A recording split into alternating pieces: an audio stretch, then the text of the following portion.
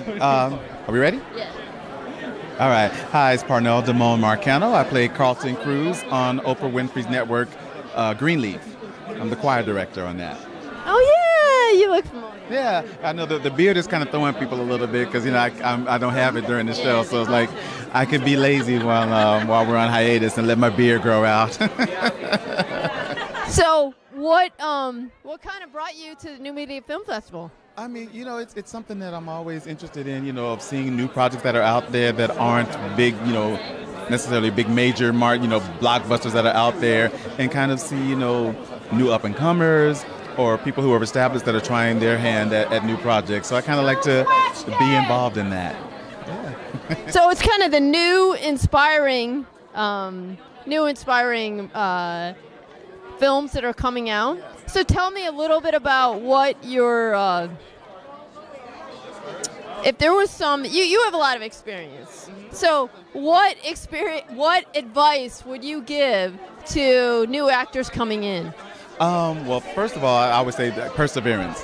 I mean, because this is like took me 28 years to get my first recurring guest star role. You know, little bits here and there, and I was always working, but this is the first like big major thing. Um, so that perseverance and never giving up, that's the first thing. Um, second thing is being prepared. You know, you got a lot of people who want to be actors or directors or whatever, but have to have no idea of what all the work that's entailed in doing that. You know, um, the willingness to do stuff for free, to do stuff, you know, on a low budget to start making a name for yourself so that you can build up a resume for the big gigs. I mean, those are. Yeah, no, we, we um, I also do. I help run a uh, nonprofit, which is it's a Sherwood Oaks Film School, and what we've been doing um, since 1971 is actually bring in more practical versus theoretical. Right. So it's like you go in and you get a variety of what's going on.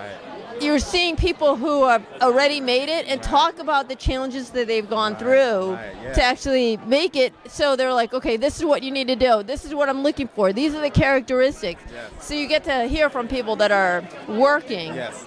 Yeah, exactly. That's and kind of like try to speed up the process. But I know a lot of people come in and they say the same thing. I, I just want to get my movie made. I just want to, you know, and they don't want to do any work. They're just, I'm just like, well, it's not ready yet. I've heard like you know the average movie can take anywhere from five to ten years to That is correct. from being written to being finally out there for the public to see, and people want it to be done like, oh, I wrote this movie and I'm gonna have it out next year. I'm like, good luck with that. Well, I think I think there's a thing of of saying that what these film festivals actually help Right. in Luna Media Yes. Film Festival is you can get out there Yes. quickly. Yeah, that is the great thing about new media and stuff. That now with the internet and everything, that people can get their products out there a lot sooner. Like you're saying, you know, you're like, oh well, if I can't get a major studio to produce it, I can release it on on the net.